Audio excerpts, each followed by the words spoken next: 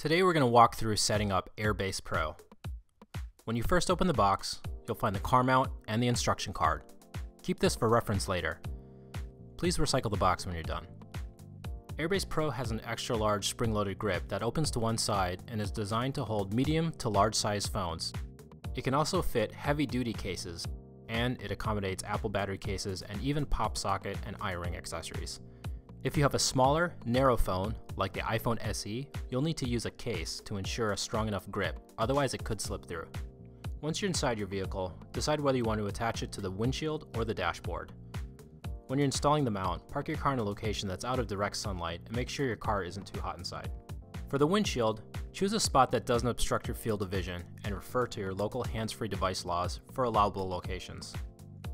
First, clean the area with glass cleaner and let it dry, Remove the clear film from the adhesive gel on the suction cup.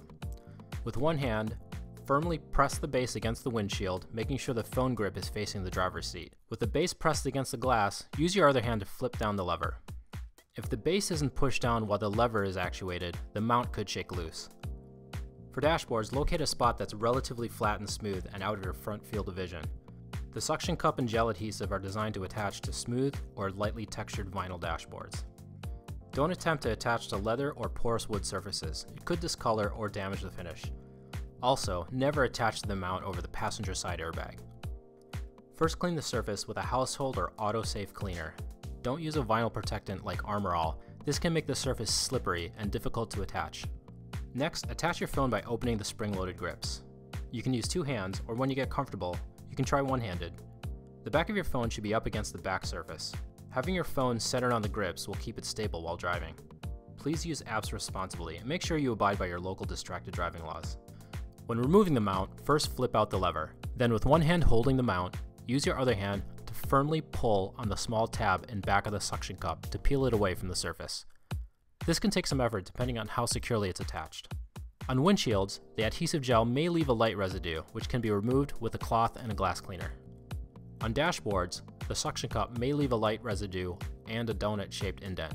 You can remove the residue with a vinyl safe cleaner.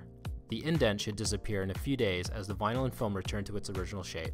If a discoloration remains, use a vinyl restorer like Armor All and continue to reapply daily until the finish is restored.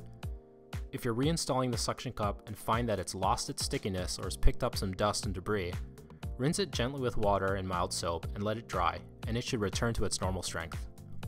We hope you enjoy using Airbase Pro. Airbase Pro has a limited lifetime warranty. For issues or questions, please contact our customer service department.